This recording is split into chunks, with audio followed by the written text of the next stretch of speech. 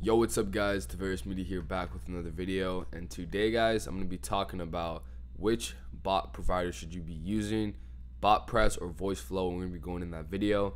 And guys, I just want to say thank you so much for all the growth. I mean, the the the proof is in the numbers like 463 subscribers and we've only been doing YouTube for a month and the channel's just blowing up. And you know what's funny is like I'm not even getting that much views like you know, I'm just getting a lot of engagement because I'm providing value and people are, you know, finding value in my videos. And, um, you know, a lot of people have been pointing out the, the, the low quality of my videos, which, you know, it's, I, I, I have to fix that. And, you know, um, I got a, I got, I bought a new uh, camera. So when I do my IRL videos, it's gonna be way much better. I'm gonna be doing cold calling videos now since I have the camera. Um, I gotta fix my microphone because a lot of people say that it's really quiet. The reason why is because when I look, turn around, I always get away from the microphone, so then it gets quiet. So I'm sorry about that, guys. And yeah, just you know, thank you guys so much for all the support and growth. And like, lots of people have been hitting me up, been making great conversations and relationships. And um, yeah, guys, if you guys have any questions, you know, leave in the comment section below. I'm here to help you guys, and I want to help you guys grow your agency and also your knowledge on this entire space. So yeah, we're just gonna get straight into it. And you know, I'm gonna love talking about this video because you know we all know BotPress with its you know incompetency. So yeah, we're gonna be talking about what bot pri- what what bot provider should you guys settle on. You know, this is such a key factor and component when building bots out for clients. You know, what is sustainable provider? You know, is this provider buggy? Is it crashing? Does it have proper customer support? Is the pricing make sense? Like, there's so many variables that go into a provider, and I do see a lot of like actual people starting to move forward VoiceFlow rather than BotPress, and even myself, I do use VoiceFlow as well rather than BotPress. Um, the only thing that I can say about BotPress is that you have more capability in terms of functionality, so you can do execute code so you can like pretty much you know make custom codes which i'm pretty sure you can do on voiceflow but yeah we're gonna be talking about in today's video and just comparison you know doing comparisons of the features the pricing and also like the bot the compal- compatibility you know? And um yeah let's hop straight into this video guys. First thing i want to start off is with the pricing. Of course is obviously the most you know one of the most important factors. And BotPress has a pay to go feature so you should be good on um, BotPress in terms of pricing. Like you can get for a thousand dollars a month, you can get like two hundred thousand messages. So that's not bad. You know, I think that's fine for a thousand dollars a month. Um, getting two hundred thousand messages a month, I don't think you should be getting that much unless you're signing enterprise clients. So yeah, you can be expecting to pay around three hundred to a thousand dollars a month in terms on BotPress, which is, you know, not bad because if you have three clients on a $2,000 a month retainer, then the profits make sense, obviously. And also, you can even have your clients pay the tech stack fees, including BotPress fees, like uh, bot cost fees, as in like it's an SMMA agency. You know, an SMMA or social media marketing agencies, they charge, they make the clients pay for the the ad spend while they you know do the services. So yeah, the the term the terms of pricing is not that bad. It's not anything crazy. What I do think is expensive is Stack AI, just because of the limited features you can get. Stack AI is more of like uh, solely generative technology. You can't truly build the bot, so I don't know why they're charging a thousand dollars a month for that. It's, it should be like 100 200 dollars a month at most. Now if we go to VoiceFlow, the pricing is only forty dollars a month, and you actually get a good amount of tokens for forty dollars a month. For forty dollars a month, you can get like I think like a million tokens. Um, let me see. Yep, a million tokens with forty dollars a month and now, if you're starting to sign on bigger clients that are doing more volume, then of course you guys can always contact the team and even request more tokens. So that's even available. So yeah, uh, VoiceFlow does obviously one on that. I mean, forty dollars a month, that's like nothing. That's barely a gym membership. And yeah, now let's go ahead and hop into the functionality and being able to create bots in a sustainable and competent manner. And I'm obviously gonna give VoiceFlow the win on that right out the bat, right out the gate. BotPress is super buggy, and if you guys see my videos, you can literally see BotPress just being faulty in my videos. Not saving prompts that I literally saved and clicked and save. You know, not being able to do simple tasks in a you know um, sufficient manner. And also, I've literally had times where I'm literally trying to record and it just logs me out. Like I just get signed out. And yeah, a lot of I see a lot of people as well talk about how BotPress is crashing and stuff. I've even talked to the CEO as well. He said that it's just a lot of volume on it. Let's be honest, BotPress is not good in terms of sustainability within, you know, um, like being a platform. You know, not being buggy and not logging me out and not shutting down and not being laggy and slow and not making errors that are not even actual errors. So BotPress does obviously not win in that. It's really bad when it comes to that. And let's just get also straight to actually building the bots because at the end of the day, sometimes you can do a workaround. So I'm just gonna do an answer from documents, and I'm just gonna I'm just gonna do uh, some just random PDF that I have. Oh, we're just gonna use my AI agency PDF as a knowledge base, and we'll just click confirm. And also, another thing with BotPress, it is extremely slow. Once you actually um, once you onboard the bot onto a website, I've tested it. It is super slow. It barely it responds in like you know a minute. It takes like a minute to respond, which is crazy. Like imagine your client just sitting there for an entire minute waiting for a response from an AI chatbot that's supposed to respond quick. So yeah, BotPress is really bad on that. Um, but besides building bots, I, I I feel like BotPress is very non-linear, uh, uh, very linear, excuse me, and it doesn't have that much, you know, uh, features and stuff. Besides like you know get execute code, which is pretty good, and besides that, I don't know. It's just it's they the developers they really need to up their game up.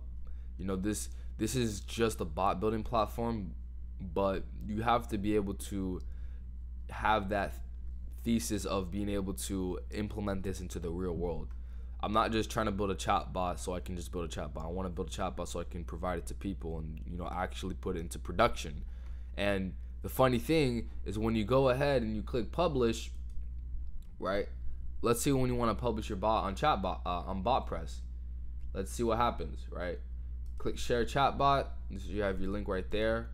Let's see the integration options for your chatbot. Now I have my own provider and my integration options are over 30 plus channels. We do what's called omni channeling.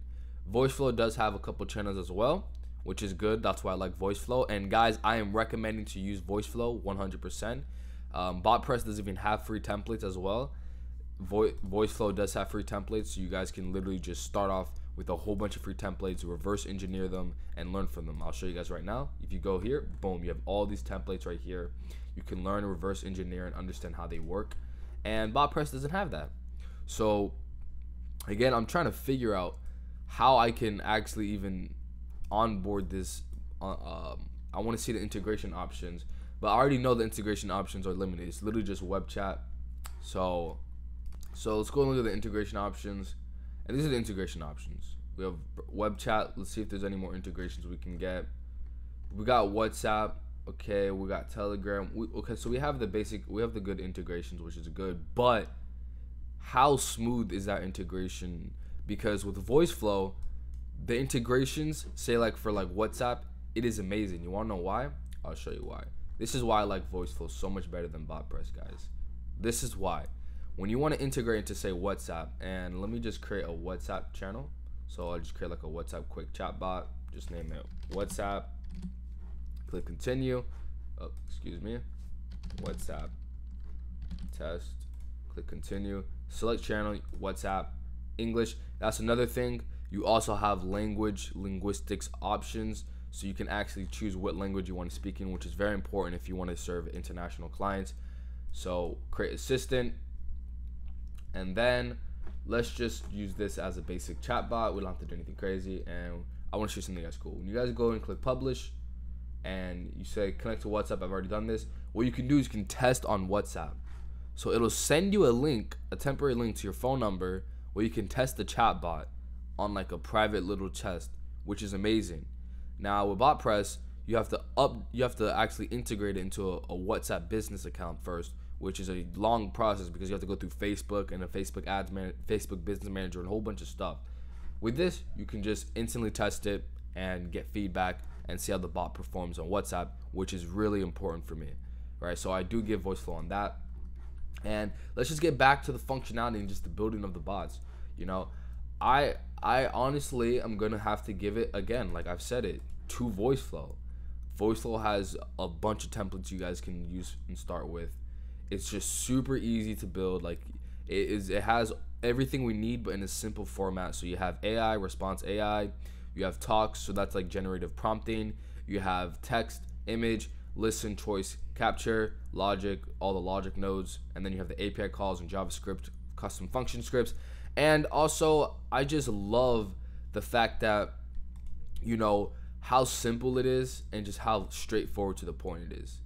And I also really have to give them the, the knowledge base capability, which is really important. You know, BotPress's knowledge capability isn't the best. It's just not really the best in terms of citing information.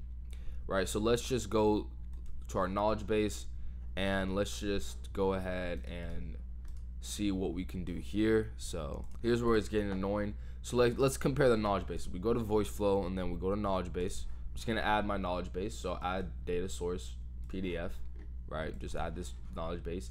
Now let me show you something.